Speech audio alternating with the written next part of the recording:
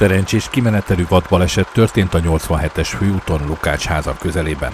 A szombathely felé tartó pikáp vezetője észlelte az út felé szaladó vadakat, ezért fékezett. Két szarvas átrohant az úton, a harmadik azonban neki szaladt lefékezett jármű oldalának. A nagyvad teste betörte a szélvédőt, letörte a tükröt, majd az ajtókat behorpasztva kitörte a jobb hátsó lámpákat. Az állat a baleset után a szombathely felé vezető sávban az oldalán feküdt, de nem sokkal később a hasára fordult, és körülbelül egy órán keresztül pihegett. A rendőrség értesítette az illetékes vadásztársaságot. A forgalom rendőri irányítás mellett egy sávon haladhatott az érintett szakaszon. A vadász kiérkezése előtt másfél perccel a szarvas lábra állt, majd kicsit bizonytalanul elkocagott a Lukácsházi víztározó irányába.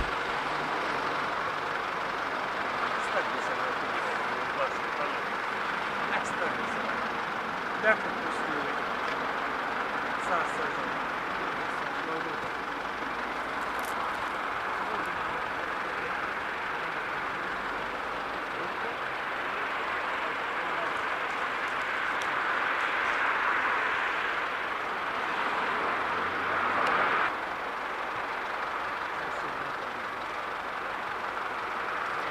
Thank you.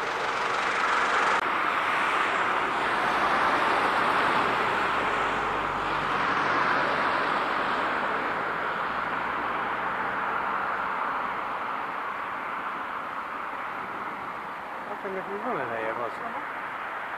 Ez nem biztos, hogy elpusztul. Simán túlélheti. Sok vér, nem, egy kicsit.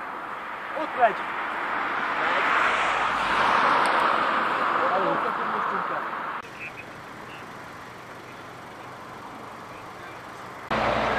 A vadász kereste a sérült vadat, de nem találta meg. A gépjármű vezetőjétől megtudtuk, hogy korábban már volt egy hasonlóan szerencsés kimenetelű vad balesete, akkor az autójával vaddisznóval ütközött érintőlegesen.